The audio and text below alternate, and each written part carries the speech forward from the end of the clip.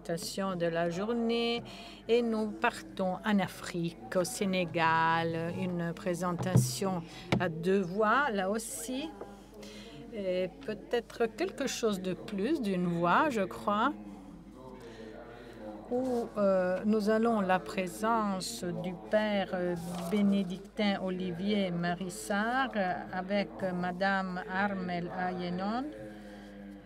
Le père Sarr est spécialisé en liturgie auprès de Saint-Anselmo où il est professeur auprès de l'Institut liturgique, tandis que Madame Ayenon est spécialisée en ethnomusicologie avec un doctorat sur la kora, qui est un instrument de musique africain. Je crois qu'ils sont en train de nous le montrer. La présentation se, euh, se, concentre sur la présence de l'ordre bénédictin au Sénégal auprès de l'abbaye de Kermoussa et met en évidence euh, le fait qu'il s'agissait d'un oasis de culture et montre le charisme des bénédictins qui vivent dans cette abbaye au Sénégal. Vous avez la parole, mon père.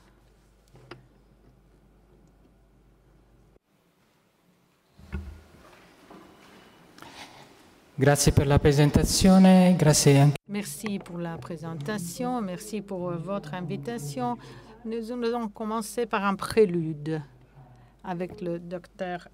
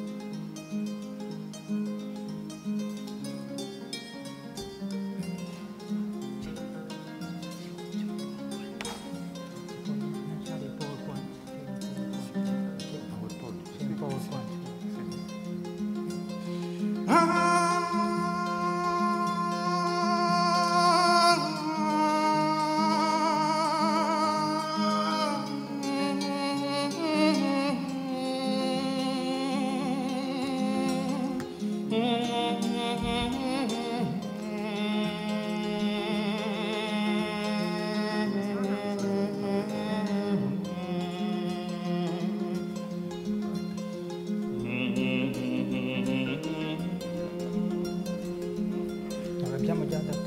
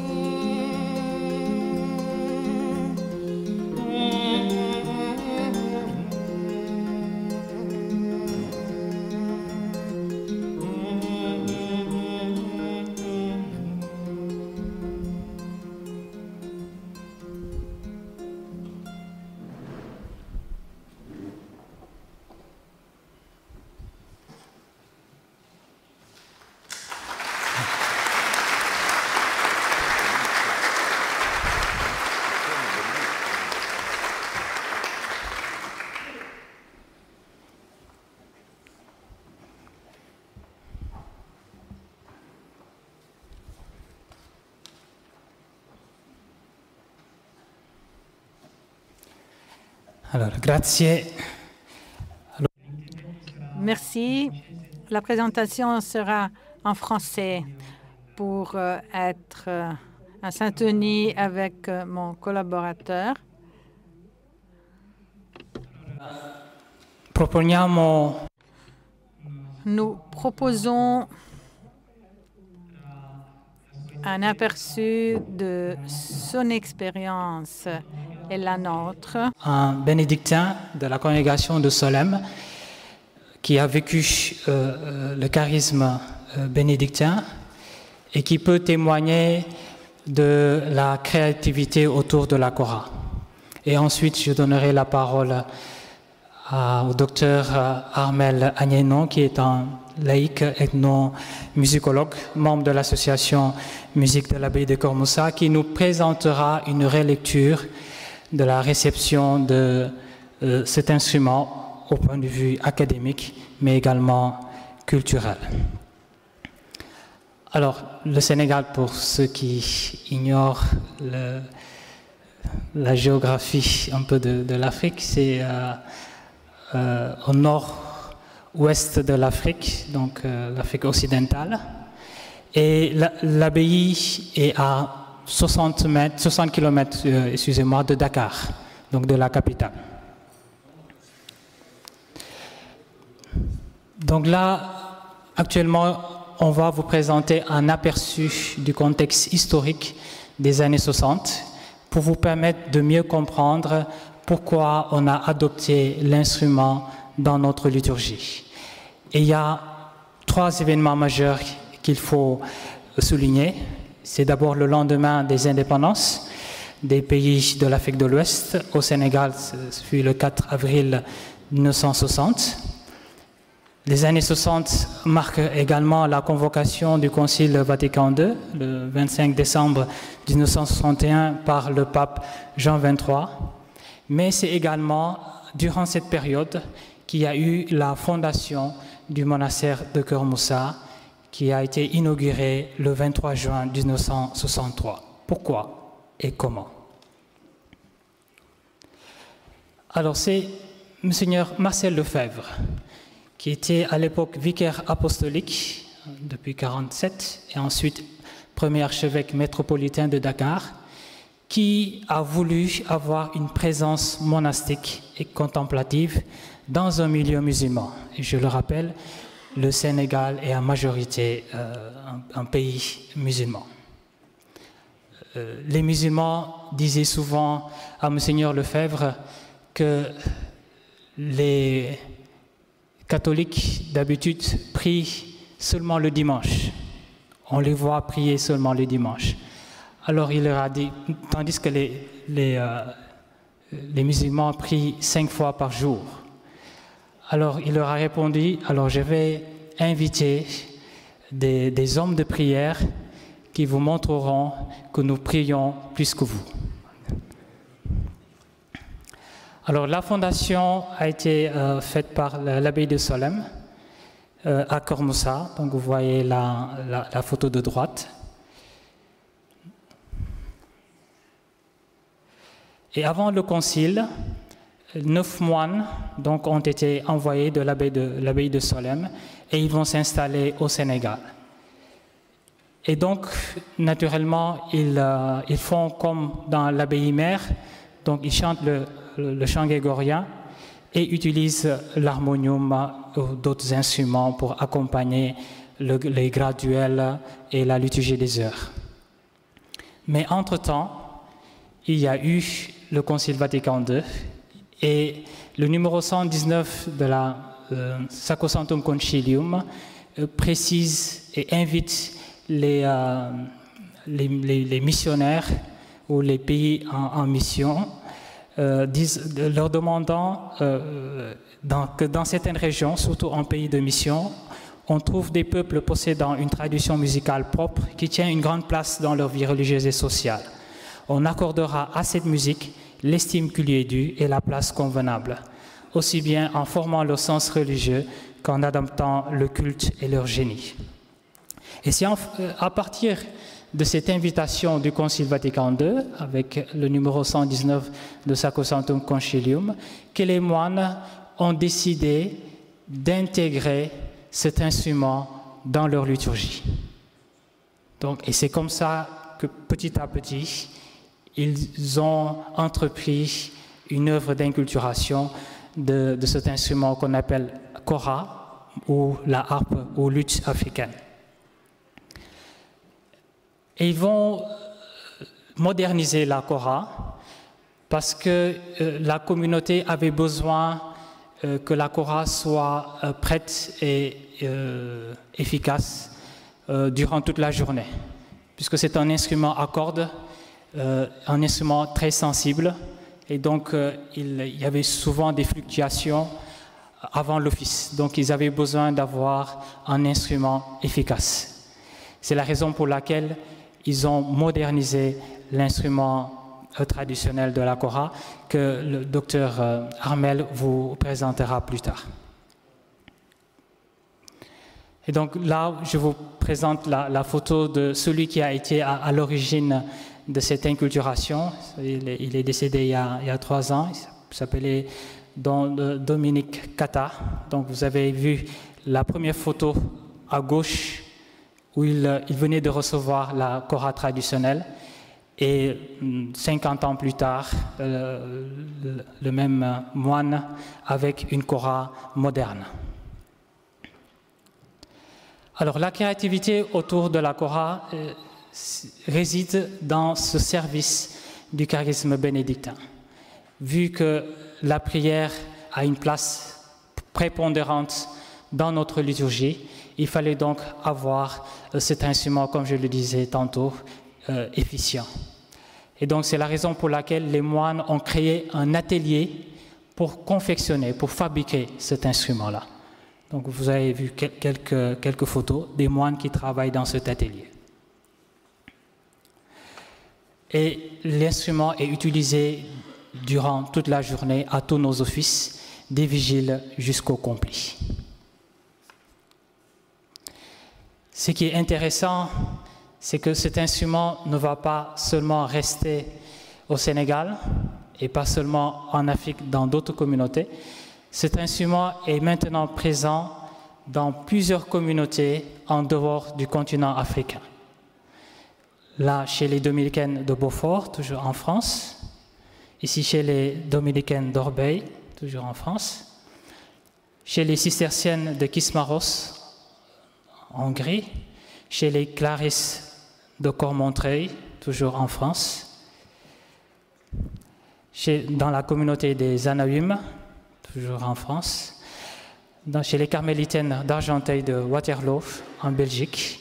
Mais également euh, dans la communauté de Tibériade, en Lituanie. À présent, je vais laisser la parole à Dr Armel, qui va euh, vous proposer une relecture du dialogue interculturel autour de la Cora.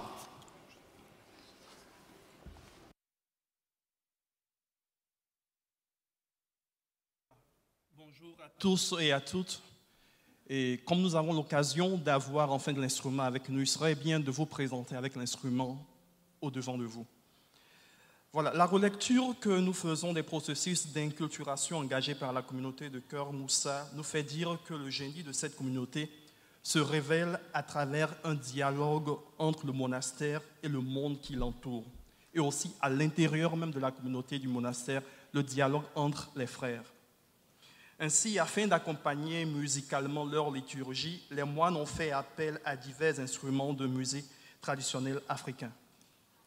Voilà, vous pouvez voir sur la photo différents instruments africains. Parmi ces instruments de musique se trouve la kora, qui n'est pas juste un objet musical possédant une très grande complexité, mais aussi un objet témoin de la civilisation mandingue.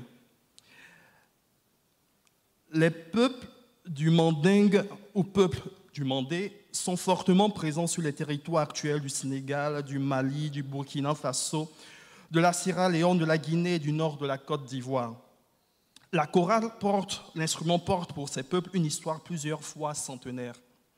Elle permet à ces peuples de garder en vie, à travers l'instrument, des éléments matériels et immatériels de leur culture.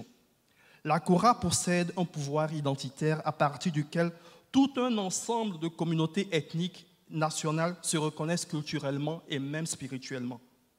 L'existence de la Kora aujourd'hui est garante de l'affirmation identitaire de ces peuples dans le concert des cultures contemporaines. En adoptant la Kora comme principal instrument musical, l'accompagnement liturgique, les moines lui ont permis de bénéficier de plusieurs avancées technologiques. Ces avancées permis aux joueurs traditionnels mandés, premiers dépositaires de l'instrument, d'aller en dehors de leur milieu d'origine ouest-africain vers un milieu plus international l'un des progrès majeurs fut au niveau de l'accordage de l'instrument. Si vous regardez bien sur les photos, vous allez voir qu'il y a une cora qui est attachée, dont les cordes sont attachées par des boucles de cuir. Sur la deuxième cora, vous voyez qu'il y a des clés, des clés mécaniques. Les moines ont d'abord débuté avec des clés en bois et ensuite sont partis sur des clés mécaniques. Ça permettait en fait à l'instrument de garder une certaine stabilité dans le temps et de ne pas pouvoir être désaccordé parce que eh, la chaleur, le vent, la température, l'humidité eh, emmenaient la Coran en plein office religieux à se désaccorder. Donc fallait avoir des mécanismes de tension beaucoup plus rigides. Ensuite, après avoir mis des clés, c'était des clés en bois, ensuite on a des clés métalliques, ils ont ajouté des chevilles chromatiques. Les chevilles chromatiques sont l'équivalent de touches noires sur le piano. Si vous avez regardé un clavier de piano, vous allez voir qu'il y a des touches noires. Ça permet d'ajouter à une note musicale, selon la, musique, la théorie musicale occidentale, un demi-ton ou retranché un demi-ton. Donc, ces chevilles-là représentent ces touches noires qui ajoutent à ces différents cordes, à ces différentes notes, euh, un ton ou un demi-ton. Un demi-ton pour être plus précis. Et donc, ça a permis en fait à l'instrument, aux joueurs, de pouvoir à la fois jouer les échelles traditionnelles africaines mandingues et de pouvoir aussi jouer des échelles musicales occidentales. Donc, ils ont en quelque sorte, de manière terre à terre, créé une kora eh, qui fonctionne comme un piano, mais tout en gardant fidèle, tout en restant fidèle à la kora d'origine traditionnelle. La troisième chose qu'il faut remarquer dans les avancées technologiques apportées à l'instrument, les moines sont restés fidèles, ont cherché en tout cas à rester fidèles au savoir-faire, à l'apparence générale de l'instrument. Aujourd'hui, un joueur traditionnel, qu'on appelle des griots, peut jouer sur cet instrument et en même temps, à côté de ce joueur traditionnel, d'autres joueurs de différentes origines, comme moi-même, moi je ne suis pas griot, je ne suis pas de la tradition et traditionnels d'Afrique, d'où vient l'instrument, peuvent jouer. On peut trouver, par exemple, comme vous l'avez vu sur les photos, des occidentaux, des communautés religieuses européennes qui jouent cet instrument. Et en même temps, sur le même instrument, on peut trouver des joueurs traditionnels d'origine ouest-africaine qui jouent toujours sur l'instrument. Donc le maintien, la fidélité, le respect de la culture de l'autre, lorsqu'on lorsqu'on touche les objets de cette culture, est resté est, très important dans la relecture que nous faisons de, des différents travaux des moines de Cœur Moussa. Voilà, qu'est-ce qu'on peut dire en fait de toutes ces avancées Je vais ajouter une dernière chose. Lorsque les moines cherchaient à partir, à s'éloigner du savoir-faire traditionnel, ils y revenaient. Et ils ont découvert en fait que euh, ça peut paraître très banal, mais les différents changements apportés sur l'instrument étaient pensés. Ils ont fait, les joueurs traditionnels, les luthiers traditionnels ont fait avec ce qu'ils pouvaient, avec les matériaux qu'ils avaient. Et ils se sont rendus compte, lorsqu'ils cherchaient à dénaturer, par exemple, la calebasse, ils cherchaient à, dénaturer, à changer la calebasse en utilisant d'autres matériaux, ils y revenaient. La calebasse, dans un temps plus ou moins court, se fendillait. Au niveau des attaches, ils se sont rendus compte que lorsqu'ils dénaturaient, lorsqu'ils changeaient substantiellement les différents éléments de la Cora, ils y revenaient. Voilà, qu'est-ce qu'on peut dire? Toutes ces différentes avancées ont permis à des personnes en dehors du peuple d'origine de la Cora de jouer de cet instrument dans divers milieux.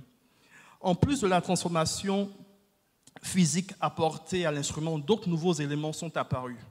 Un nouveau répertoire liturgique, un nouveau style de jeu et une nouvelle écriture musicale. Là, les moines ont inventé une nouvelle manière de noter les pièces jouées avec cet instrument. C'est toute une, on peut considérer que c'est l'une des premières écritures abouties et affiliées à cet instrument-là. Toutes ces innovations sont le fruit d'un dialogue incessant entre les personnes et les communautés présentes dans l'environnement immédiat et éloigné du monastère. Ce dialogue a pour repère l'héritage monastique plus que millénaire, mais aussi la recherche de la sauvegarde et le respect du patrimoine culturel des peuples que les moines ont rencontrés. La communauté de Moussa est rentrée en contact avec des personnes qui portaient un héritage tangible et non tangible autour de la Kora, dans le but d'utiliser cet instrument comme moyen d'accompagnement musical de leur liturgie. L'héritage culturel découlant de ce contact se trouve déjà catalogué en étant intégré au vécu des moines et des personnes qui les côtoient. La liturgie monastique, qui est une pratique régulière et commune, devient un espace de catalogage vivant et accessible. L'utilisation quotidienne de l'instrument dans la liturgie des heures des moines est un moyen de garantir la survie d'un répertoire musical autour de la Cora. Cela nous fait dire que l'utilisation d'un patrimoine garantit son existence dans le temps et dans l'histoire. Un patrimoine, lorsqu'il est utilisé, est garanti d'exister dans le futur. Le dialogue interculturel engage, protège et fait vivre les éléments qui y sont échangés et exposés au cours de ce dialogue. De ce dialogue apparaissent des nouveaux éléments culturels qui les rendent encore plus intelligibles. Dans la recherche d'adaptation du répertoire traditionnel d'origine de la Kora au répertoire liturgique monastique, les moines ont dialogué avec des joueurs de Kora traditionnels. La créativité passe par le dialogue et le respect de la culture des interlocuteurs même si ces derniers n'ont pas les mêmes croyances que les nôtres. La créativité passe par le dialogue et le respect de la culture des interlocuteurs, même si ces derniers n'ont pas les mêmes croyances que les nôtres. Le dialogue nécessaire dans l'inculturation passe par l'identification des traits culturels de nos contemporains et de manière réflexive de nos propres traditions culturelles à travers les traits culturels de l'autre. Pour conclure, la créativité inculturante des moines de cœur Moussa pourrait être qualifiée d'un dialogue transfigurant où chaque personne qui y est impliquée en ressort resplendissant d'une nouveauté sans pareille. Le monastère apparaît comme ce lieu de mise à l'écart dans lequel il séjournent et dialoguent les porteurs d'un héritage culturel. Dans ce dialogue actif, silencieux et parfois houleux, naît sous le souffle de l'esprit de nouveaux corpus culturels respectueux des anciens. Ces nouveaux objets culturels sont plus adaptés à la fois aux réalités missiologiques, mais aussi à ce besoin de tout homme et de toute femme, quelle que soit la croyance, quelle que soit la culture, quelle que soit la provenance, de vivre des expériences profondes donnant un sens profond à chacune d'elles. Merci.